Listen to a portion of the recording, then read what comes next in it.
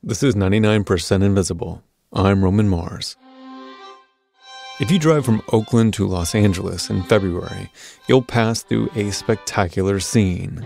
Neat, symmetrical rows of trees covered with pink and white flowers stretching on for hundreds of miles.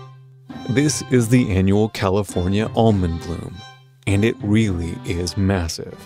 California almond trees take up a million acres of land in the Central Valley. When the petals fall off, they carpet the road and create this sweet smell. And the almond bloom also has its own distinctive sound. You can actually hear it before you even walk into the orchard. That's the sound of thousands of bees from an orchard outside of Modesto, California. To create a single almond, a blossom needs as many as a dozen bee visits. That means you need roughly 80,000 bees to pollinate an acre of almonds. That's Adam Allington. He's a reporter covering the environment for Bloomberg. He also hosts the podcast, The Business of Bees. When you think of bees in business, you're probably thinking of honey. But in fact, honey has little to do with commercial beekeeping today. Every winter, beekeepers from every corner of the United States descend on California to pollinate almonds. Almonds have a window of about two weeks for pollination to occur, otherwise, the blossoms won't turn into fruit. The demand is so high, it takes almost every beehive in the country to do the job upwards of 2 million hives. This is the largest managed pollination event on Earth. This is John Miller. He's a fourth generation beekeeper from North Dakota. And every year, John brings 13,000 hives over 1,500 miles to the Central Valley. I've got the best job on earth. Look at this. It's a beautiful spring day in Northern California. Almond trees are in bloom. I just love it. What are we looking at right here? This is the top of the hive. These are the occupants. These are the little bees. They're hanging out. There's a there's well, this guy just landed. For a beekeeper like John, pollination isn't just big business, it's most of his business. In recent years, almond pollination has become so lucrative it accounts for about two thirds of John's income. How much of this honey actually will go to making honey for people to eat? None. Instead of selling the honey, John says it's more cost effective to just leave it in the hive as food for the bees. After pollinating almonds, John will load his bees onto a semi truck and they'll move from one crop to another in other states. You know, they'll go from almonds to plums to cherries to apples to vine crops to pit fruits to cotton to lima beans to watermelons, and then their season is over. Farmers have known for centuries that putting a hive of honeybees in an orchard results in more blossoms becoming cherries, almonds, or apples. But it's only in the last 30 years that pollination services like the kind that John provides have become such an enormous part of American agriculture. Today, bees have become more livestock than wild creatures, basically tiny little winged cows that depend on humans for shelter, food, and even medicine. But for thousands of years, our relationship with bees was much simpler. It was really all about the honey. Way before sugar came along, honey was one of the few sweeteners we had. There are 8,000 year old cave paintings in Spain of people collecting wild honey. And once humans got a taste for honey, they'd do almost anything to get it. Alexander Zamchek is an apiculturist at the University of Miami, Ohio. He studies bees and agriculture. To put it gently, we found ourselves as plunderers uh, when we tripped across uh, natural beehives, the Winnie the Pooh trees in the wild. And when people came across one of these trees, they would cut it down. And in so doing, rob the bees of this honey. It was not a, a, a, a wonderful experience. Um, we didn't have bee suits. We weren't, it was a, a pretty raw event. These collectors would smother and kill the bees with smoke, and then they'd take the honey. It was not exactly a sustainable process. Slowly over time, it really dawned on us that, well, what if we tried to put them in a container? By the Middle Ages, beekeepers in Europe had designed a method of capturing swarms of bees and then putting them inside woven upside down baskets called skeps. For all you vexillologists out there, there's actually a bee skep on the state flag of Utah. It's got a little door for the bees to come in and out, and it's positioned right in the center between the words Utah and industry. An obvious advantage of the skep design was that you didn't have to go out and hunt for the honey and chop down a tree to get it. And the skeps were portable. When the first Europeans came to America, they brought along a few skeps full of honeybees, which are actually not native to North America. The species the Europeans brought over is called Apis mellifera. It's Latin for honey carrier. Of the 20,000 bee species in the world, Apis mellifera is the only one that can produce enough honey to be useful for humans. It formed larger colonies. It had a gentle nature. Um, it was a good honey producer. It was one that we could use around the world, and that was our golden retriever. And these docile, sweet tempered bees did really well in America. There's a good saying by a 17th century scholar that said the honeybees did better than the settlers did. That's Tammy Horn Potter. I am the Kentucky State apiarist. I work with the Kentucky Department of Agriculture.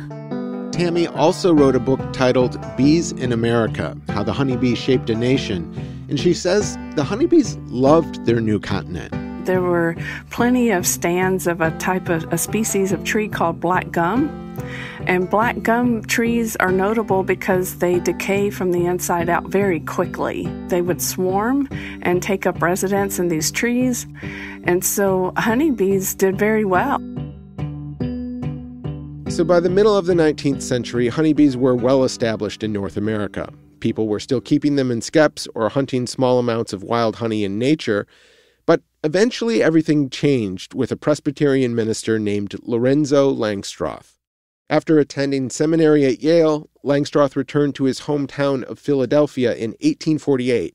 And during this time, Langstroth began to struggle with mental illness. In diaries from the time, his family referred to it as head troubles. Today, it's what we'd call seasonal affective disorder. Back then, a standard prescription to fight depression would be laudanum. That's an alcoholic solution containing morphine. But Langstroth's doctor wanted to try something more gentle. He told him to spend more time outdoors, which he did. He would take long walks on his own out in nature, and he developed an extreme fascination with wild honeybees. He literally just spent hours and days and weeks and months staring at these hollow bee trees until an idea finally clicked in his mind. Langstroth noticed something about beehives in the wild. There was this pattern, a kind of mathematical precision to the spacing between the honeycombs. And the moment came when he realized there is this same same exact space, a carpenter's number, three eighths of an inch, between every one of these combs, and they were measured again and again, different hives, different times, different colonies, and it's always three eighths of an inch. Langstroth called this area the bee space. Three eighths of an inch is the exact amount of space bees need to move around a colony. They're like little hallways between the honeycombs. So then, Langstroth took this idea of the bee space and he put it in a box. Inside each wooden hive box, he would hang a series of removable frames, kind of like empty picture frames, and each one was spaced 3 eighths of an inch apart. When Langstroth put bees inside the box, they looked up at the frames and they thought, hey, you know what? This looks a lot like home. Then other bees joined in, and before you know it, they were making colonies inside these boxes. And the Langstroth hive was invented. It's the modern beehive, the one that we still have today. It was the first artificial hive which could be easily controlled and moved around. It changed everything about beekeeping. Oh, it was fundamental. I mean, there's just no doubt about that. Because once beekeepers can manage colonies, they can check on their health. Say if it's a if it's a drought, they can help provide supplemental food. Langstroth's innovations meant people could keep more bees, and the bees could reuse their honeycombs because people weren't destroying them all the time, which allowed honey production to go way up. Langstroth published a book of his findings in 1853 called The Hive and the Honeybee. It's still widely read in beekeeping circles today, and once it got out, beekeeping became big business all over the world. The hives are crammed with honey and ready for man to rob. The bees have made millions of journeys to add to that precious store. To be or not to be, to be it is. After World War I, people kept innovating and honey production went from family farming to a giant commercial operation. By the end of World War II, there were something like 5.9 million commercial beehives in the United States. It also set the stage for the next chapter of beekeeping, the rise of commercial pollination. In the 1950s, small family farms started getting pushed out by big companies and industrial agriculture. While family farms had fields with different crops growing side by side, the new model replaced the whole system with ever expanding fields devoted to growing just one plant. Instead of planting cover crops to replenish the soil after the harvest, they just use fertilizer. Some of our commercial crops, like corn, rice, and wheat, are pollinated by the wind, but many of our fruits and vegetables rely on insects to do the job. As the entire business became more and more industrialized and shifted to monoculture, there was a need for greater certainty when it came to pollination. Commercial bees, thanks to the Langstroth hive, were a perfect fit. Controlled by humans and highly portable, they were able to do more pollinating in a day than most wild insects do in a week. So instead of trusting the local ecosystem to pollinate their crops, many farms came to depend on this single domesticated species of bee. As farmers grew more crops, commercial beekeepers started earning more money by renting out their bees as pollinators. But while pollination is big business in the United States, actually, the U.S. is pretty much the only country that does this. Jeff Lee is a commercial beekeeper from North Carolina. Every year, he ships 1,200 hives to California to pollinate almonds. In March, they'll come back to North Carolina, where I will do high bush blueberry pollination. After that, they will go up to Maine. That's where they'll do the low bush blueberry pollination. And some will go to Wisconsin for cranberry pollination, and others will come right back to North Carolina for a cucumber and watermelon pollination. Today, commercial beekeepers get most of their income from pollination. They're paid around $200 per hive for a few weeks of pollinating almonds. So, if you do the math, $200 per hive times, say, 1,000 hives, that's $200,000, which sounds like pretty good money for three weeks of work. But Lee says the cost for keeping bees alive has shot through the roof in the last couple years. Right now, beekeepers are facing one big challenge. You might already know about it if you watched the worst movie of 2008, The Happening, starring Mark Wahlberg as a beleaguered science teacher. I don't know if any of you guys have heard about this article in the New York Times. Well, apparently, honeybees are just disappearing all over the country. Tens of millions of them. All right, let's hear some theories about why this might be happening. Nobody? You're not interested in what happened to the bees? Tragically, I have seen The Happening. Marky Mark is not good in this movie, but he's right. The bees are dying. Adult bees leave the hive and never come back, leaving the babies to die. Researchers blame pesticides, disease, and parasites. Back in 2007, reports of a mysterious bee plague called colony collapse disorder were making headlines all over the country, and it got people worried. There were articles warning us about the end of bees. There were studies by freaked out scientists. Colony collapse is when all the bees in a colony just disappear in the course of a few days. There's no bee corpses to do an autopsy on, and no obvious signs of poisoning. Around 2007, it was happening a lot. The number of cases technically labeled as colony collapse has actually gone down since then, but Jeff Lee says it's still happening bees disappearing or dying in huge numbers. This last year, I had the most losses I have ever had. And I'm reading the literature and I'm trying to do everything I can to keep the bees healthy. A recent survey of commercial beekeepers found the average yearly die off rate is about 40%, which is way higher than the 10 to 15%, which used to be normal. Researchers point to increased use of pesticides as one factor.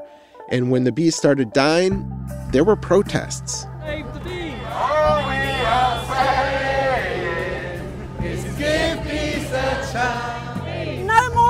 Poison. You're not just killing the bees, you're killing yourself. But pesticides aren't the only culprit. Another problem is an invasive parasitic mite from Asia called Varroa destructor. Once it has penetrated the beehive, the varroa mite multiplies in the brood cells where the queen has laid her eggs.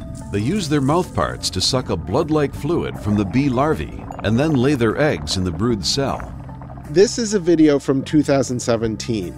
It's made by Bayer, the largest producer of pesticides in the world. And given that, of course, Bayer wants us to focus on the mites. By the time the bee hatches, it is weakened, often infected with viruses, and has a shortened lifespan. The varroa mite can also be carried by the bee into other beehives. Varroa mites have wiped out tens of millions of beehives in the United States. Since the European honeybee didn't evolve alongside the mite, the bees don't have a natural defense. And because most of the commercial beehives in the country end up in a single place in California every February, we've created the ideal scenario for varroa mites to spread from one hive to another. Which is a real threat to our food supply because our whole agricultural system has become dependent on this single vulnerable species of insect. And now it's hard to imagine feeding the country without them.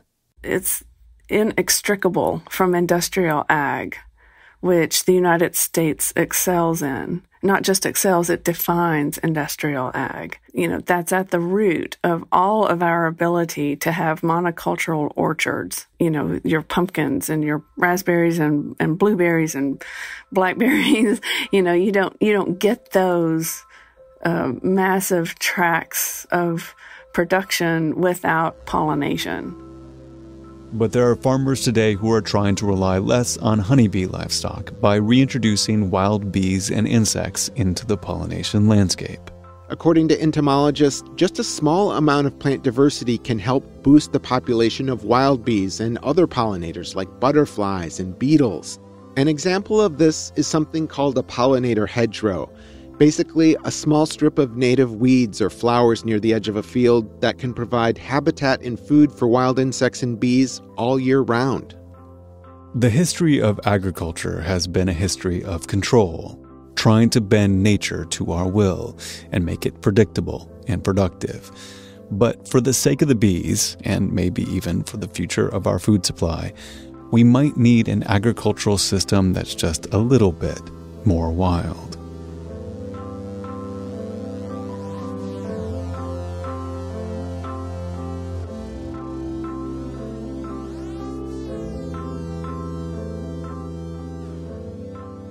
More with Adam about how domesticated bees became a symbol of conservation. After this.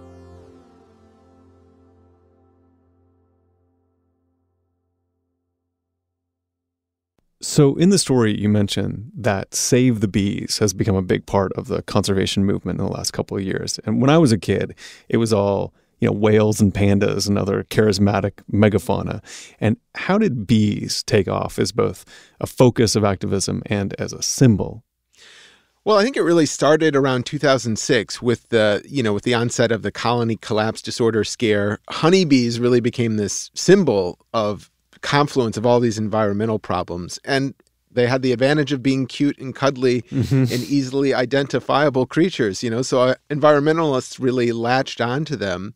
And in some cases, some states actually sued to create protections for honeybees. Uh, you know, you probably heard the protests. There was actually a really huge protest in the UK a few years back where protesters dressed up like Winnie the Pooh were holding signs and you know, singing songs. And basically, we are all beekeepers. Winnie the Pooh wasn't the greatest beekeeper.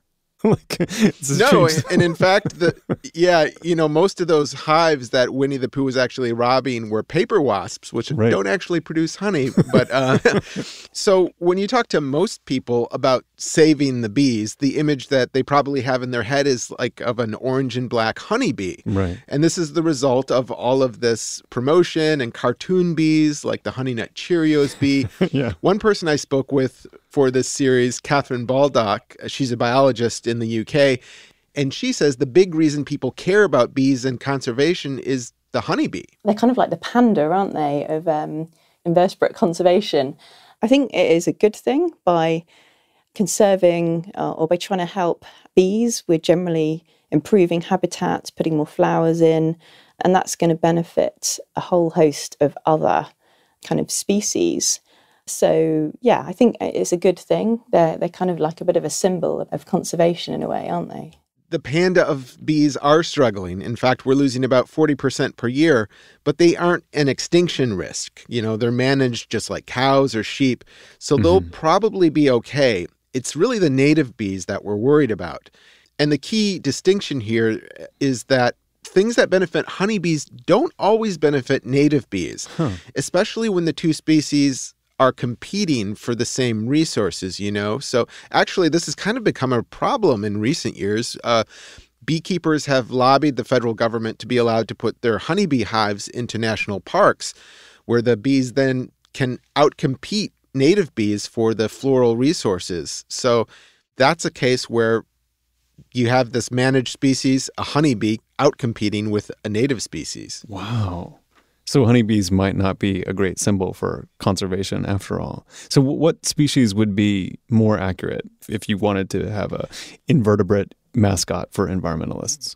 Well, there's no shortage of candidates, that's for sure. You know, Mhm. about 20,000 bee species in the world. But, you know, uh, let's run through just a couple that spring to the top of your mind. The black sweat bee, you know, this is kind of like the Ozzy Osbourne of bees, you know, all black, kind of looks more like a fly with these kind of purple eyes. Yeah. You know, you've got ground nesting bees like the mason bees, which are, you know, kind of resemble honeybees, a little more shaggy, a little more rough around the edges. And then the rusty patched bumblebee, which was actually recently added to the endangered species lists. It's Oh. actually quite cute and cuddly. You know, it looks like a bumblebee, except it's got these two little rust colored orange patches on its back. That would be a bee that could compete, you know, on cuteness alone. Other than finding the perfect fuzzy symbol for conservation when it comes to bees, if people are concerned about bees and the health of bee populations, what can they do? Well, you know, this is where there's a bit of good news because unlike other big looming environmental issues, which can kind of be abstract or maybe difficult to wrap your head around in terms of individual action, you know, things like climate change, for instance, with pollinators, you can actually do something that will create direct benefit for bees. Um, this doesn't include, you know, unfortunately, buying things like local honey from the farmer's market. And don't get me wrong, I love honey, but it doesn't actually help native bees if we're purchasing a product that's created by honeybees. The same thing goes with backyard beekeeping. It doesn't do anything to help pollinators by raising basically this agricultural livestock. You know, so toward that end, there are things you can do, which is obviously plant more native flowers and plants in your yard. Mm-hmm. Plants that can bloom at different times throughout the year to give those bees something to feed on. Other things, obviously, like avoiding pesticides, for example, you know, or perhaps consider letting your lawn go a bit wild, letting all those dandelions come up in the springtime. Those are things that can really help native pollinators quite a bit. I'm so excited about this because I hate taking care of the lawn and letting it go wild is exactly in keeping with both my ethic as a conservationist and as a lazy human. It seems perfect for me. There you go. Now you've got an explanation. Because the neighbors get mad and I can just say I'm doing it for the bees. Exactly. Uh, thank you so much. Thank you, Roman.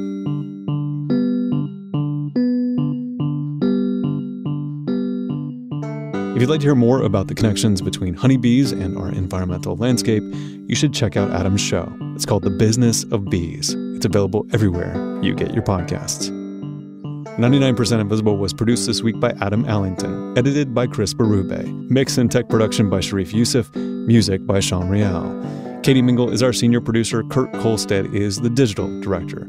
The rest of the team is Emmett Fitzgerald, Avery Trufelman, Joe Rosenberg, Vivian Le, Delaney Hall, Sophia Klatzker, and me, Roman Mars. We are a project of 91.7 KALW in San Francisco and produced on Radio Row in beautiful downtown Oakland, California. 99% Invisible is a member of Radiotopia from PRX, a fiercely independent collective of the most innovative shows in all of podcasting. Find them all at radiotopia.fm. You can find the show and join discussions about the show on Facebook. You can tweet at me at Roman Mars and the show at 99pi.org. We're on Instagram and Reddit too. But you're always welcome to hang out at our hive at 99pi.org.